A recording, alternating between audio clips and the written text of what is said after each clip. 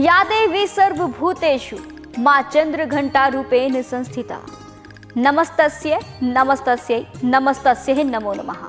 जय माता दी। नमस्कार सभी दर्शकों को नवरात्रि पर्व की हार्दिक शुभकामनाएँ। मैं आपके साथ नेहा वर्मा। आज नवरात्र का तीसरा दिन है और आज के दिन माँ के स्वरूप चंद्र घंटा की पूजा अर्चना होती है। नौ दिनों तक चलने वाली नवरात्रि के दौरान माँ के नौ रूपों की पूजा की जाती है माँ का तीसरा रूप राक्षसों का वध करने के लिए जाना जाता है। मान्यता है कि वह अपने भक्तों के दुखों को दूर करती है, इसीलिए उनके हाथों में तलवार, त्रिशूल, गदा और धनुष होता है। इनकी उत्पत्ति ही धर्म की रक्षा और संसार से अंधकार मिटाने के लिए हुई है। मान्यता है कि माँ चंद्र घंटा की उपासना साधक को आध्यात्मिक और आत्मिक शक्ति प्रदान करती है। नवरात्रि के तीसरे दिन माता चंद्र घंटा की साधना कर दुर्गा सप्तशती का पाठ करने वाले उपासक को संसार में यश, कीर्ति और सम्मान मिलता है। राक्षसों का नाश करने के लिए माता दुर्गा ने अपने इस चंद्र घंटा स्वरूप को धारण किया था। उस वक्त महिषासुर नामक असुर का बहुत आतंक था। महिषासुर देवराज इंद्र के सिंहासन पर बैठना चाहता था और स्वर्गलोक पर राज करने के लिए उसकी इच्छा थी। महिषासुर की इस इच्छा से देवता बहुत परेशान हो गए थे।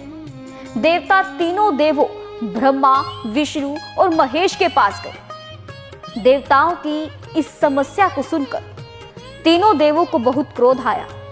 इन तीनों के क्रोध की वजह से मुँह से जो ऊर्जा उत्पन्न हुई, उससे एक देवी अवतरित हुई। सभी देवताओं ने देवी को अपने अपने अस्त्र दिए। देवराज ने देवी को एक घंटा दिया।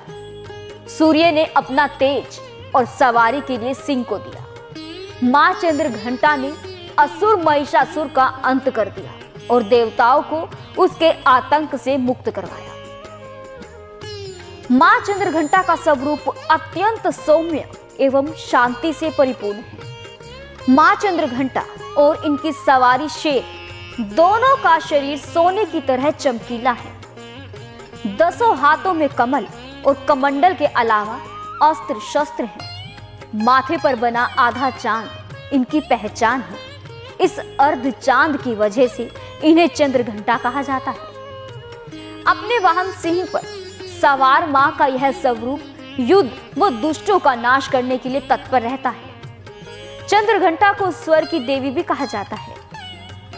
नवरात्रि के तीसरे दिन माँ चंद्र घंटा की पूजा के लिए खासकर लाल रंग के फूल चढ़ाएँ। इसके साथ ही फल में लाल सेब चढ़ाएँ। भोग चढ़ाने के दौरान और मंत्र पढ़ते वक्त मंदिर की घंटी ज़रूर बजाएँ, क्योंकि माँ चंद्र घंटा की पूजा में घंटे का बहुत महत्व है। मान्यता है कि घंटे की ध्वनि से माँ चंद्र घंटा अपने भक्तों पर हमेशा अपनी कृपा बरसाती रहती है। माँ चंद्र घंटा को दूध और उससे बनी चीज़ों का भोग लगाएँ और इसी का दान भी करें। माँ चंद्र घंटा को मखाने की खीर का भोग लगाना श्रेष्ठकर माना गया है। मान्यता है कि ऐसा करने से माँ खुश होती है और सभी दुखों का नाश करती है। सभी मंदिरों में नवरात्रि पर्व की धूम है। वहीं करनाल में लोग बड़ी श्रद्धा के साथ मंदिरों में जाकर माता के दर्शन प्राप्त कर रहे हैं। नवरात्रि के तीसरे दिन आपको ले चलते हैं माता रानी के मंदिर में। तो जानते हैं पुजारी जी ने नवरात्र पर्व को लेकर क्या जानकारी। नमस्कार, आप देख रहे हैं समाचार एक्सप्रेस और ये तस्वीरें नवरात्रों के दूसरे दिन माता मनसा देवी मंदिर नावल्टी रोड से। इस बार कोरोना के चलते मंदिरों में भीड़ बहुत कम आ रही है, परंतु यह बहुत ही प्राचीन मंदिर है। यहाँ पर सोशल डिस्टेंसिंग का ध्यान रखते हुए कुछ श्रद्धालु पहुँचे हैं। यहाँ तो जी श्रद्धालु बहुत दूर दूर से आते हैं। पहले बहुत ज़्यादा आते थे अब की बार तो जो पुराने भी थे वो भी नहीं आ रहे हैं श्रद्धालु। बहुत फ़र्क पड़ चुका है जी कोरोना की वजह से मंदिर में अब की बार यहाँ पे इतनी भीड़ नहीं है। दो चार दो चार लोग चल रहे हैं। जहाँ तक हो सके जी घर में ही पूजा करें। कोरोना के कारण बहुत फ़र्क पड़ा है जी दुकानदारी पे भी पड़ा है। यहाँ पे जी। बहुत कम है जी लोग यहाँ पे ज़्यादा नहीं है। कितना प्राचीन मंदिर है ये? ये तो जी बहुत टाइम पुराना है जी इनके पहले ही है दादा पर दादा उसे चला रहा है जी मंदिर। मानता बहुत है जी इस मंदिर में तो अब की बार इतने दिनों में यहाँ इतना भीड़ कम हुई ये है? कोरोना के कारण हुआ है जी। हमने तो अपनी ज़िंदगी में पहली बार पहली बार देखा है जी हमने। आज तक मतलब इतना बहुत भीड़ होती थी यहाँ पे ये कोरोना के कारण बहुत भीड़ कम हो चुकी है। लोग थोड़ा सा कतरा रहे हैं मंदिर में आते हुए। कुछ नवरात्रों का संदेश देना चाहोगे लोगों को? क्या कहना चाहोगे? बस जी जितना हो सके घर में पूजा पाठ करें। अपनी सेफ्टी अपने हाथ में है जी। कोरोना से बच के रहे।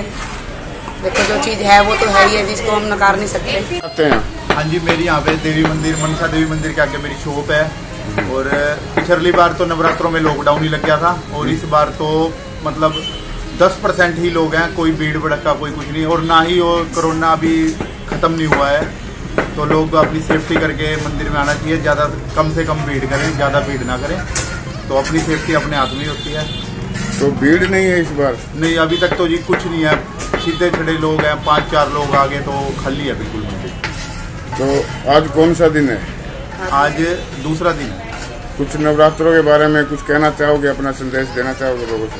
बस ये संभल के अपना नवरात्रों का त्यौहार मनाएँ ज़्यादा भीड़ भड़का ना करें और हैप्पी नवरात्रि। ऐसे ही लेटेस्ट खबरें पाने के लिए बेल आइकन को क्लिक कर हमारे चैनल को लाइक शेयर एंड सब्सक्राइब करें। धन्यवाद। जेबीडी Banquets lie हैं। Incredible marriage palace Rajgharana and the finest banquet hall Jyoti Garden. World class catering, centrally air conditioned, lush green lawns, state of the art lighting. A perfect venue for wedding, launching and parties. Rajgharana and Jyoti Garden at JBD Banquets Enterprise.